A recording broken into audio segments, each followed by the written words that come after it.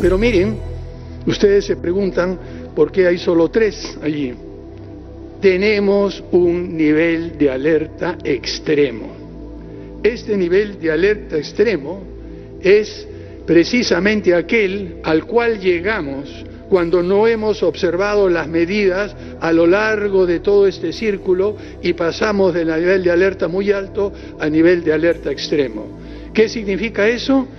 Pues miren, una experiencia similar a la que tuvimos durante mayo y junio del año pasado.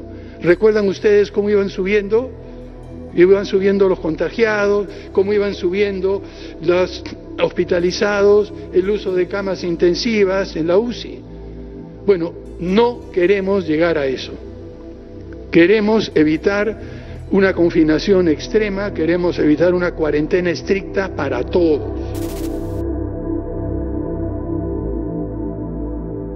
Ya estamos con todas las negociaciones para el transporte que va a traer desde Beijing hasta los almaneres de Cenares en el, eh, cerca del aeropuerto y luego eh, pero sí confiamos que llegue antes de fin de mes el primer millón de vacunas para empezar todo el proceso de vacunación, que en este momento es el gobierno peruano quien está negociando con los proveedores de vacunas.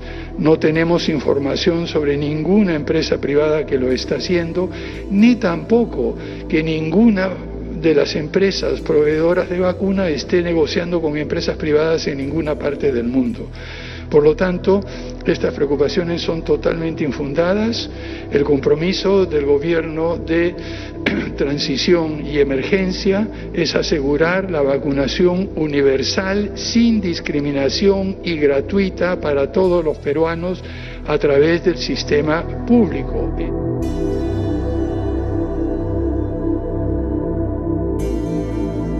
Estamos llevando en estos vuelos y por tierra a otras regiones para el primer nivel de atención lo que quedaba de balones. Hemos repartido ya 5.000 balones que han ido a los establecimientos de tipo 1, 3 y 1, 4 del primer nivel. Hemos repartido 350.000 oxímetros para los 1, 3 y 1, 4 y estamos llevando 2.000 balones adicionales que se van a repartir entre los 1, 3 y 1, 4 que son los establecimientos de primer nivel.